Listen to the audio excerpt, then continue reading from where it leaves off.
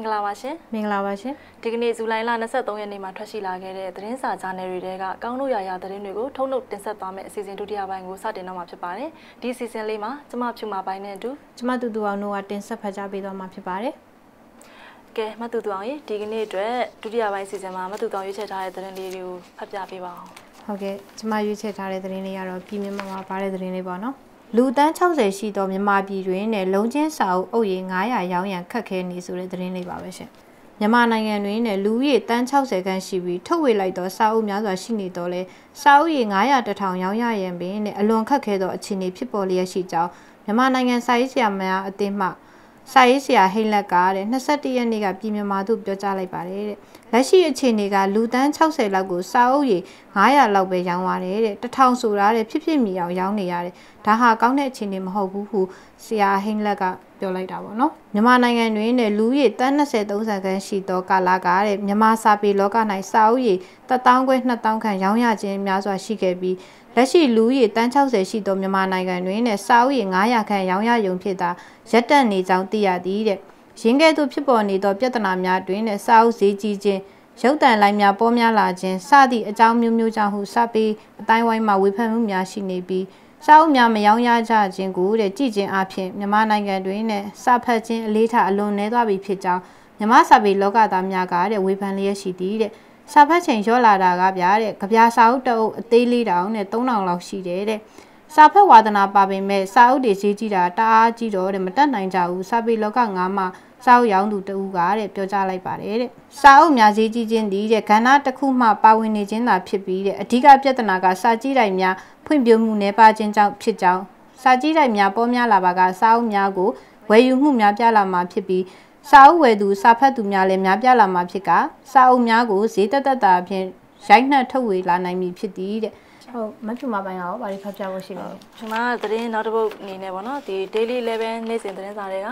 တရားစွဲခံထားရတဲ့သာသနာရေးဝန်ကြီးဟောင်းဦးစန်းစင်ရဲ့၄ချိန်မြောက်ရုံးချိန်မှာမိသားစုနဲ့ပထမဆုံးတွေ့ခွင့်ပေးဆိုတဲ့သတင်းလေးကိုရွေးချယ်ထားပါတယ်။နေပြည်တော်ဒက္ခိဏခရိုင်တရားရုံးမှာစစ်ဆေးကြားနာနေတဲ့တရားစွဲဆိုခံထားရသောသာသနာရေးဝန်ကြီးဟောင်းဦးစန်းစင်ရဲ့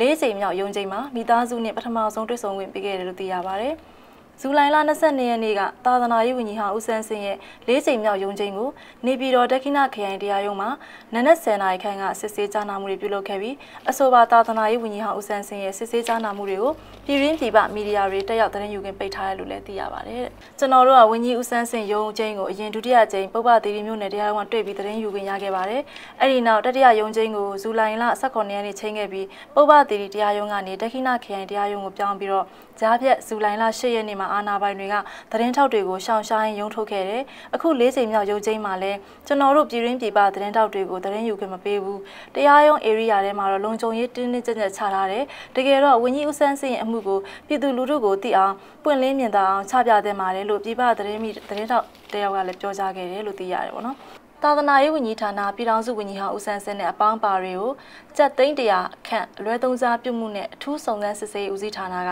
တရလိုပြုအမှုဖွင့်ပြီးတော့ဥတ္တရသီရိမြို့နယ်ဖျားကုန်းရဲစခန်းတွင် ပမြင်းဆောင်21မြင်းဆောင်2014ပြစ်မှုပုံမှ409မြင်းဆောင်109နဲ့အမှုဖွင့်အရေးယူခဲ့ရာဇူလိုင်လ10ရက်ကြားဖြတ်ရုံးထုံးတဲ့နေ့မှာဦးဆန်းစစ်နဲ့အပေါင်းပါတွေကိုခရိုင်တရားရုံးကလွှတ်ပေးခဲ့ရကြောင်းပုံမှ109ကိုပယ်ဖျက်ခဲ့ပြီးဝင်းကြီးဟောင်းဦးဆန်းစစ်ကိုပြစ်မှုပုံမှ409မြင်းဆောင်114ကကြီးနဲ့အရေးယူစစ်ဆေးနေတယ်လို့တရားရုံးတိုင်းဝိုင်းကသိရပါတယ်တဲ့ဝင်းကြီးဆန်းစင်ဟာ9ချိန်မြောက်ရုံးချင်းကိုဇူလိုင်29ရက်နေ့ပြန်ချိန်ထားတယ်ပေါ့နော်ဒီတစ်ခေါက်ရုံးချင်းကိုတော့မိသားစုနဲ့တွေ့ခွင့်ပေးပေမဲ့သူကသတင်းမီဒီယာတွေကိုယူခွင့်မပေးဘူးဆိုတာတော့နည်းနည်းနည်းနည်းထူးဆန်းတယ်လို့ဖြစ်နေတယ်။ဘာကြောင့်လဲဆိုတာတော့မသိဘူး။ဟုတ်ကဲ့ပထမတစ်ခေါက်တုန်းကရုံးထုတ်တုန်းကတော့မီဒီယာတွေကိုတွေ့ခွင့်ပေးခဲ့ရနော်။ဟုတ်ကဲ့မီဒီယာတွေကိုသူပြောချင်တဲ့စကားလေးကိုအချိန်လေးရသလောက်လေးမှာပြောသွားတဲ့အတွက်လည်းမီဒီယာတွေကသူပြောတဲ့စကားလေးပေါ်မှာဂရုဏာတက်ကြတယ်။နောက်သူမှန်ကန်တယ်လို့လည်းယုံကြည်ကြတယ်။ဟုတ်ကဲ့ပါရှင်။မတူတူအောင်နောက်ထပ်ပါသတင်းများဖတ်ပြဖို့စီစဉ်ထားလဲရှင်။ဟုတ်အခုကျမရွေးချယ်ထားတဲ့သတင်းလေးကတော့ The Voice မှာပါတဲ့သတင်းလေးပါပဲရှင်။ဆေးဘက်ဆိုင်ရာတက္ကသိုလ်အားလုံးဒန်းတူထောက်ပံ့ပေးရန်တူနာပြုတက္ကသိုလ်ကျောင်းသားများတက်မကကတောင်းဆိုဆိုတဲ့သတင်းလေးပါပဲရှင်။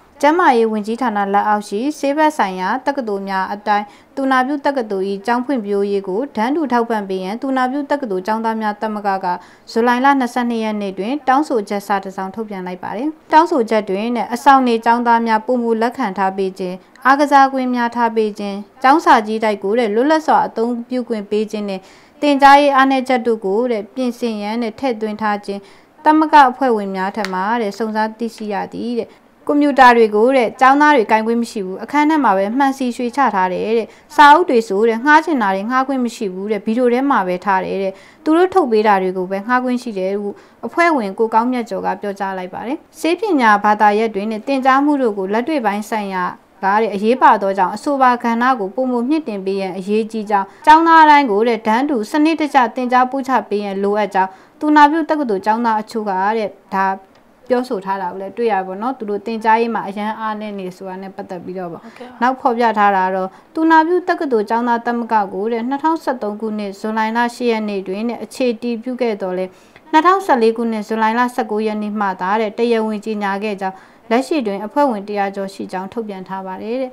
ကျမ်းမာရေးဝန်ကြီးဌာနလက်အောက်တွင်နဲ့စေတက္ကသိုလ်၄ခုနှင့်စေဘက်ဆိုင်ရာတက္ကသိုလ်15ခုရှိပါတယ်တဲ့။ဟုတ်မဖြူမှာပန်းကဘာတွေဖတ်ပြဖို့ရှိလဲဆိုဟုတ်ဒီမှာဒီတစ်ခေါက်ထပ်ရွေးချယ်ထားတာစံတော်ချိန်နေ့စဉ်သတင်းစာရပါတော့။ ចောင်းသားတဦးဟာចောင်းပြောင်းခွင့်လက်မှတ်နှစ်ကြိမ်ထုတ်ခွင့်မရှိဘူး။နှစ်ကြိမ်ထုတ်ပေးတဲ့ကျောင်းအုပ်တွေကိုပြင်းထန်စွာရေးယူမယ်ဆိုတဲ့သတင်းလေးကိုဖတ်ပြပေးချင်ပါတယ်။အခြေခံပညာကျောင်းများမှကျောင်းသားတဦးကိုအတန်းတန်းတဲ့အတွက်ကျောင်းပြောင်းခွင့်လက်မှတ်ကိုနှစ်ကြိမ်ထုတ်ပေးခွင့်မရှိကြောင်းကျောင်းပြောင်းခွင့်လက်မှတ်ကိုနှစ်ကြိမ်ထုတ်ပေးတဲ့ကျောင်းအုပ်များပညာရေးဝန်ကြီးဌာနစီမံစည်းကမ်းအတိုင်းပြင်းထန်စွာရေးယူသွားမည်ဖြစ်ကြောင်းအမှတ်3အခြေခံပညာဦးစီးဌာနညွှန်ကြားရေးမှူးဒေါ်ဆန်းဆန်းရီကပြောဆိုခဲ့ပါတယ်။ သူကကြောင်းပြောင်းခွင့်ကိုဘယ်လိုသတ်မှတ်ချက်တွေနဲ့လုပ်ထားလဲဆိုတာကိုလည်းရှင်းပြထားပါတယ်။အခြေခံကြောင်းတွေမှာတဲ့ကြောင်းပြောင်းရမှာတစ်နှစ်တည်းကိုအကြောင်းမျိုးမျိုးကြောင့်၃ချိန်ပြောင်းမယ်ဆိုရင်ကြောင်းပြောင်းခွင့်လက်မှတ်တစ်ကြောင်းပြောင်းရင်တစ်ခုစီနဲ့လက်မှတ်၃ဆောင်ဖြစ်မယ်။ကြောင်းတစ်ကြောင်းမှာကြောင်းသားက6လပြည့်ပြီးပြောင်းမယ်ဆိုရင်တော့ကျောင်းအုပ်ကကျောင်းပြောင်းခွင့်လက်မှတ်အသစ်ရေးပေးရမှာဖြစ်ပြီးတော့3လအတွင်းပြောင်းမယ်ဆိုရင်မူလကျောင်းပြောင်းလက်မှတ်ကိုသာပြန်လည်ပေးရမှာဖြစ်ကြောင်းသိရတယ်တဲ့။ကျောင်းသားတယောက်ကတဲ့ခီးဝေးတဲ့နေရာကလာလို့ကျောင်းပြောင်းလက်မှတ်မပါရင် ကြောင်းပြောင်းလက်မှတ်ယာယီဆိုတာမျိုးလုပ်ရမယ်။ကြောင်းပြောင်းခွင့်လက်မှတ်ရမှာအတန်းကူးပြောင်းခွင့်ရမယ်။ကြောင်းတစ်ကြောင်းမှာကြောင်းပြောင်းတဲ့ကြောင်းသားရဲ့ကြောင်းပြောင်းလက်မှတ်ဆိုတာအမှတ်တမ်းရှိတယ်။အဲ့ဒီကြောင်းကပြောင်းပြီးရင်အဲ့ဒီကြောင်းကကြောင်းသားမဟုတ်တော့ဘူး။အဲ့ဒါကြောင့်မလို့ကြောင်းပြောင်းခွင့်လက်မှတ်ဟာလူတစ်ယောက်အတွက်အရန်ရေးကြည့်တယ်လို့ဒီဒေါ်ဆန်းဆန်းကြီးကပြောထားခဲ့ပါသေးတယ်။သူကဒီချက်တွေကိုမလိုက်နာခဲ့တဲ့သူတွေဆိုလို့ရှိရင်လည်းသူဘလို့ရေးယူမယ်ဆိုတာလည်းရှင်းပြထားပါတယ်။အတန်းတန်းနဲ့အတွက်တဲ့ကြောင်းသားတအုပ်ကိုကြောင်းပြောင်းခွင့်လက်မှတ် နှစ်ကြိမ်ထုတ်မပေးဖို့ပညာရေးဝန်ကြီးဌာနလက်အောက်မှာရှိတဲ့အခြေခံပညာကျောင်းများနဲ့ပုဂ္ဂလိကကျောင်းများကလိုက်နာဆောင်ရွက်မှာဖြစ်ပြီးတော့အခြေခံပညာကျောင်းတွေမှာလိုက်နာခြင်းမရှိရင်အဆိုပါကျောင်းအုပ်တွေကိုထိရောက်စွာရေးယူသွားမှာဖြစ်ပြီးတော့ပုဂ္ဂလိကကျောင်းတွေကလိုက်နာမှုမရှိရင်တော့ကျောင်းမပုံတင်ပိတ်သိမ်းတဲ့ထိရေးယူသွားမယ်လို့သူကထိထိရောက်ရောက်လုပ်မယ်ဆိုတော့ပြောသွားတယ်ပေါ့နော်အခုဖတ်ပြသွားခဲ့တဲ့စံတော်ချိန်နေ့စဉ်သတင်းစာတွေကသတင်းလေးနဲ့ပဲကျမတို့ရဲ့အစီအစဉ်ဒုတိယပိုင်းကိုရန်နာလိုက်ပါတယ် DVB ကိုအားပေးကြည့်ရှုနေတဲ့ပရိသတ်အားလုံးကိုကျေးဇူးအများကြီးတင်ပါတယ်ရှင်